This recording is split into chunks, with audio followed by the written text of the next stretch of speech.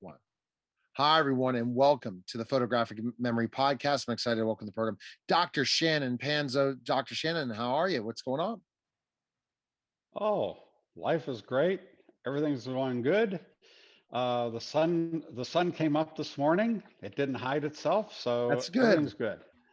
Absolutely. and so, uh, again, we know Dr. Shannon's a photographic memory expert. If you've been following the podcast, he is not just a photographic memory expert, but a brain management expert. And you can get mentoring from him today by going to zoxpro.com, but also, you know, start ZoxPro training now.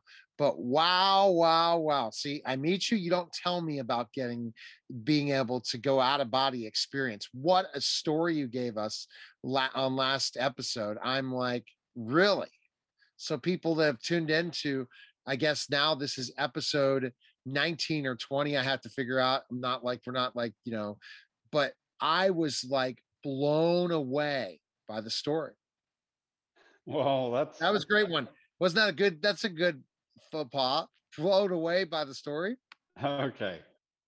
Well, uh, essentially, when whenever people have life-changing events, uh, most people will have a life-changing event that changes their life in a very small way, and then over time, the difference becomes larger and larger.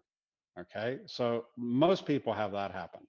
In this case here, I was literally blown up into an entirely Exactly. new profession. Yeah, because you surviving says I'm all in. That was the all in thing, Dr. Shannon. You're saying I'm all in. And when we have those kind of life changing events, we say we're all in, but yet it takes time. It doesn't just happen overnight that you're all in. You have to kind of buy in more and more to the system. Right. Well, I didn't I didn't really understand what was in store for me at that particular time. And I'd just gone through something that was uh, purely dynamic in in what was happening. Um, you know, dealing with explosives is one thing. Taking all the precautions is another. Exactly. And most uh, most people that are in the explosive profession for a long time end up missing digits on their hands. So uh, I still have all of my I still have all of my digits. Thank you. And uh, but whenever this happened to me, uh, it came out of the blue. But the thing is, is because I've been using the process, uh, I'd really been able to tune in. I've been able to tune in to everything happening around me. It raised my awareness, my perception levels, uh, my ability to perceive things. Uh, I had premonitions leading up to the event. The uh, the premonitions really didn't tell me what was going to happen. It just said something big is going to happen, and sure enough, it was big. so Very big. uh, so what ends up happening is I literally, uh, while working with the explosives, I got blown up, and uh, due to uh, due to an out of body experience that I had at that particular moment, uh, when I when the explosion happened, uh, due to that uh, translocation, my guardian angel protecting me, uh, all these things coming into focus all at the same time. I walked away from this horrible accident completely unscathed. yes, which is unbelievable. Yeah. And and I have the evidence, I have the proof and Exactly. and all the rest of it, but I I should have been blown into little bits. But that's okay. I'm here to I'm here to talk about it today. Uh, the good thing is, what actually came of this was uh, was a uh, a change of operations. You know, my my occupation changed. But before that, whenever you are in the middle of creating a miracle, Yeah, people start treating you differently. they do. And even though, I mean, after I got blown up, I, I went right back to work. The same the same day I went back to work um, and finished out the shift. Now, people around me thought I was nuts, but that's okay. Uh, they weren't in. They weren't me. Exactly. They weren't the ones that were so prepared for the event that okay, I just dusted myself off and moved on, and that's essentially how I handled it. But people around you, they start treating you differently. Uh, there was uh, people were wondering what this was all about, what this all all had to you know all had to do with anything. And I was getting I was getting some serious questions from some some really serious people wanting to know some answers as to how I was able to survive this thing. And Exactly.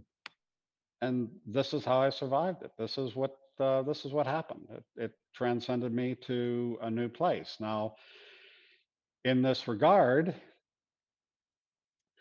what was the good thing that happened out of all this was at that particular time, Richard Welch needed to uh, have an, uh, a good person working uh, working for him, and I happened Yes. to change my occupation from uh, working with explosives as an explosive technician over to uh, working with Richard. now, Right. he also, because he created the process, he invented the process, he had used the process for his own enlightenment, for his own processes. And he himself had insights. He saw something within me that I didn't realize at that time. And for whatever reason, he that's why he brought me under under his tutelage. That's why he became my mentor. And so I spent the next oh 30 years working directly with him. Wow. Yeah. And so, and once he helped you learn that, you wanted to soak up everything he knows like a sponge, didn't you? oh yeah. And and also I came into this understanding that yes, this is so important for people because look what it did for me. It saved my life. But it's so important for people. I mean, just think if you're a, a policeman, a fireman, uh, Right. somebody in the military, uh, a, a deep rock miner, whatever. Things of emergency can happen instantaneously. If you have uh, awareness and understanding of these things and and have that grasp where you can where you can look into into the future, I I guess you could say, uh, where Exactly. you can anticipate these things, you can change the outcome. Uh, people often ask me, well, if I didn't have the training, would I have survived? Well, the likelihood of that is probably not. But Right. you're also you're also looking at uh, causality because I was a explosives worker, because I was taking the training that I was training, because I Right. needed to have that awareness. All these things came together and created it created a new function. And that's what gave me the premonitions. That's why I was able to take steps. Now back to uh, back to Richard. Uh, I've I've been heavily traveled. I've been heavily educated, and the mental photography has given me uh, a great flexibility, uh, a great alacrity with the um, with the Right. way that I can communicate with people. And this again is one of the, the great blessings that I've had from this is being able to communicate with people and help them solve their issues. And the mental photography is actually the fulcrum point. The mental photography allows you to, to gain your your photographic memory, gain your access to that back, start utilizing it in your life.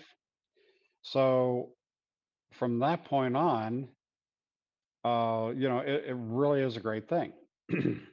Definitely. so the uh, the opportunity of being mentored by Richard, and Richard was not the type of person that would mentor people. He wanted uh, his strategy Okay. was I'm coming in to teach people how to do this. And once they learn uh, learn the basics, how to do it, I'm moving on to the next set of people. So he always had new people coming into uh, coming into his class. He always, there was always a need for new people. Uh, they saw a need that they needed what he had, so there was always that need. And this is his strategy. It's also my strategy. Now, uh, there are a few uh, a few differences, namely because when I first met him, ZoxPro didn't. Uh, it actually wasn't Yeah. there. He was primarily doing seminars. So when the internet came along, we hopped on the internet and created Zox Pro, and uh, we've been doing that ever since that way. Yes. Uh, so yeah, it's it's been a it's been a really good time doing all this. And again, what are we all what are we doing? We're helping people. We're helping people be better. Yes. All right. So, what another interesting episode. Next, we're going to be talking to somebody that you know very well. Isn't that right, Dr. Shannon? Oh yes. Uh, next episode is Dr. Ted Valley. A very interesting person, and you'll get to know him. Get to know him and get to know how he learned, kn- knew, knows you and ZoxPro, right? That's right. And so- he's a Yeah. he's had he's had wonderful success with it. Awesome. Can't wait to learn. So that you can go to zoxpro.com right now. You can follow Dr. Shannon on all different uh, social media platforms and appreciate it, Dr. Shannon. Again, make sure you never get blown up again unless you can survive again. Well, at least I know how to handle explosives. You know, you not just that, you can have out more out of body experiences that we'll learn. All right, Dr. Shannon, take care. Thank you. Have a great day. all right, all right, thanks. That was again the photographic memory podcast. Take care.